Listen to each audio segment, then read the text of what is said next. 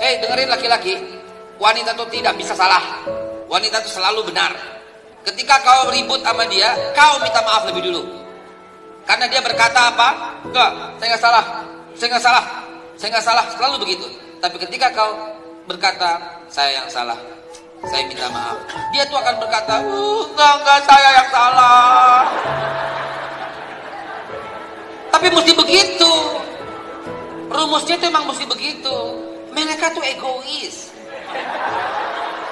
Tapi Ustadz, dia itu sukanya keluar rumah. Kau yang salah, kau tidak bisa memberikan kenyamanan baginya. Ketika dia mengadu, nangis, apa yang kau katakan, nangis tidak bisa menyelesaikan masalah. Kau katakan itu. Padahal tahu nggak, ketika dia menangis, dia mencari pundak untuk mengeraskan tangisnya. Dan ketika kau tidak berikan itu, dia akan mencari pundak yang lain.